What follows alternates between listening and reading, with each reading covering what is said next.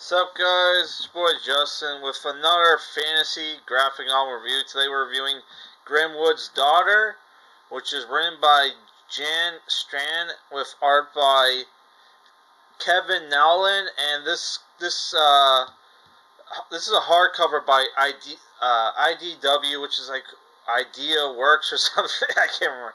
Idea DreamWorks or whatever. I, I don't remember what IDW stands for. But yeah, I paid like 15 bucks for this.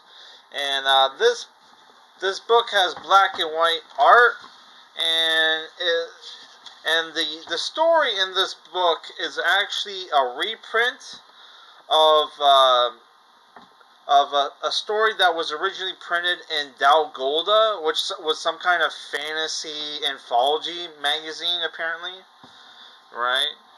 Uh, which they don't tell you when th- this magazine was originally published.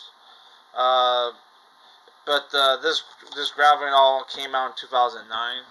Yeah, so the this so it's in black and white.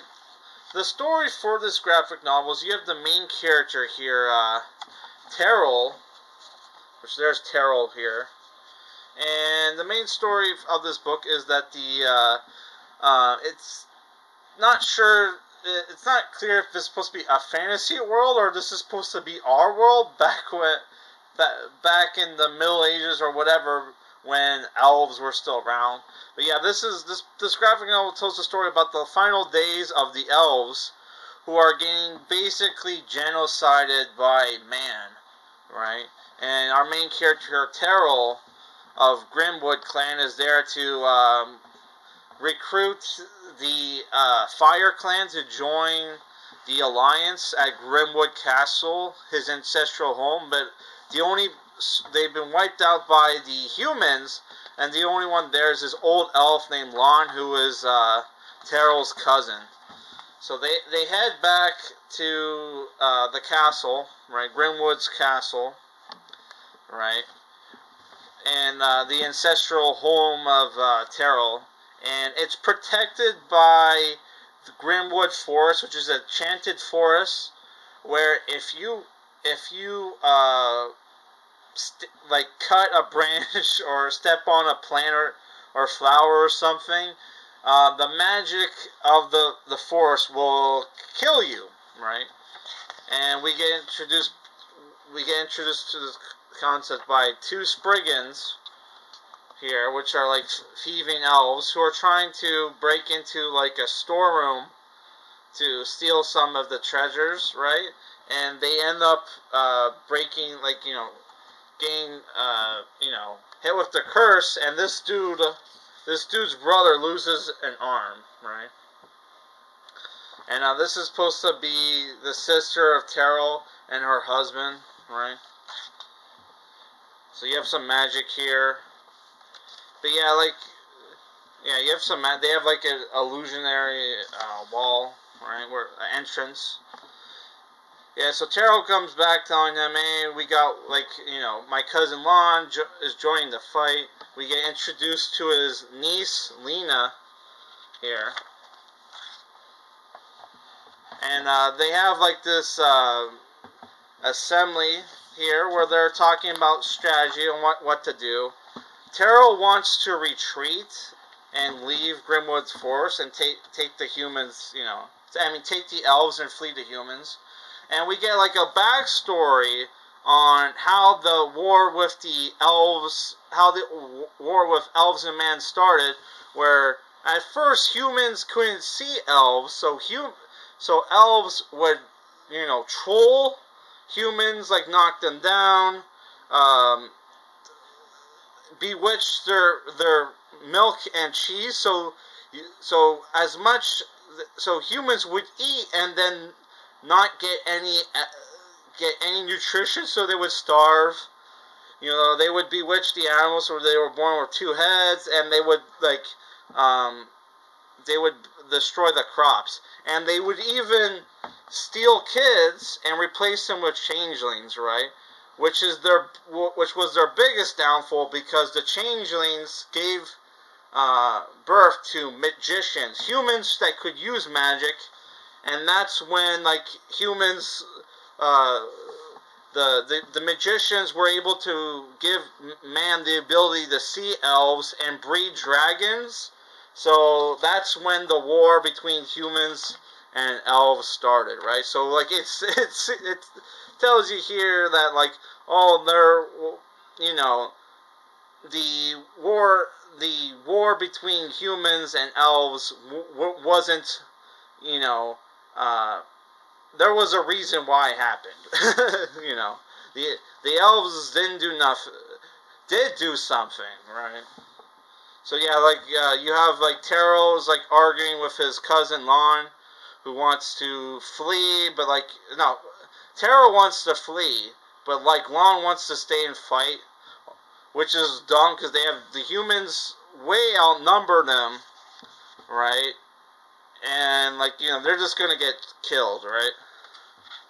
So yeah, like um, Terrell leaves on this white stag through Grimwood Forest, and we get introduced to the the character that the book is named after, Grimwood's daughter, right? Who is an elemental, um, sorry, an elemental who, who looks like an elf, but she's actually elemental, and she's actually the lover of Terrell. And you know, like uh, Lon uh, snuck into Grimwood's uh, force, so normally she would kill anybody who, like you know, uh, would break a branch or something in Grimwood's force, but she just breaks a, a finger, right? So it's uh, yeah. So the elves are kind of brutal, right? Well, she's technically not an elf. She's a elemental. So yeah, what happens is like Terrell, Lon goes back.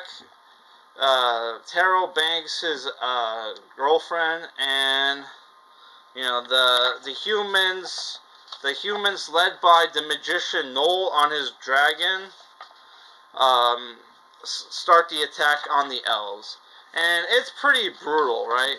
And the, the, this is a very dark story because like the the like the magician will drop a bag of death fruit, and it's implied like he at the start of every battle he dro- he he gives the elves bags of death fruit so they can kill themselves, right? And you see like a one one of the women take it, right?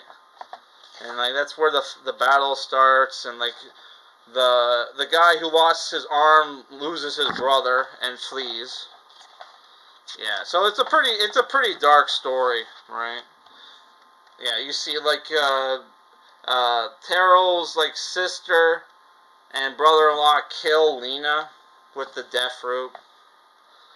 Unks is dead, and like you know, Terrell was like, oh man, uh, Terrell was trying to, flee, but like after seeing like uh, people dying. He's like, I'm not gonna die a coward's death. I'm gonna fight.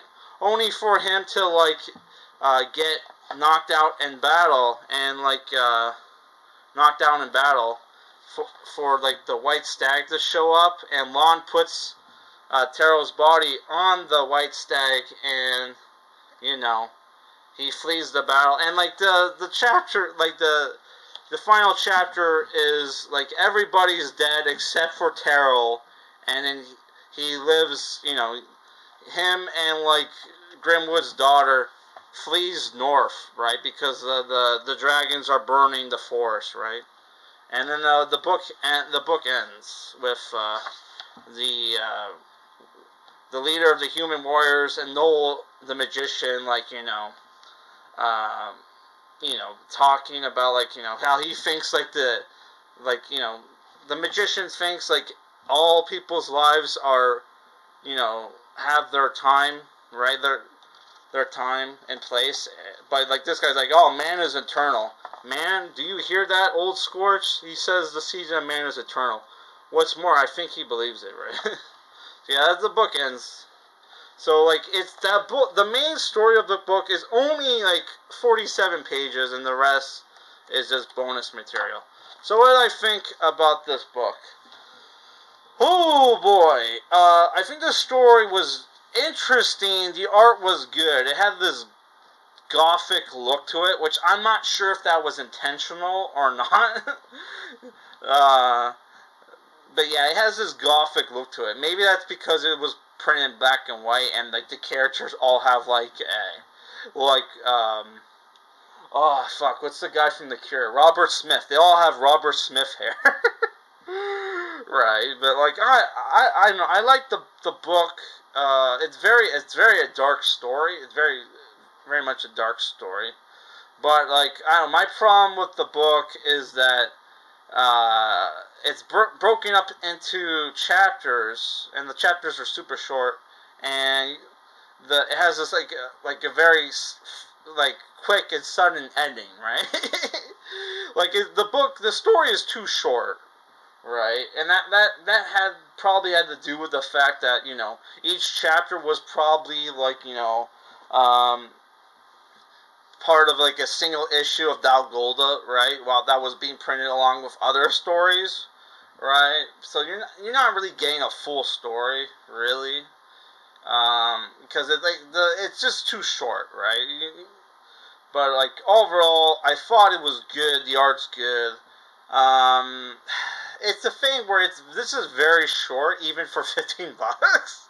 like this is barely. This is like this is like the size of like two issues basically. So it's like I I honestly don't know if I can recommend this book, but based off what I read, I would say this is like a six out of ten.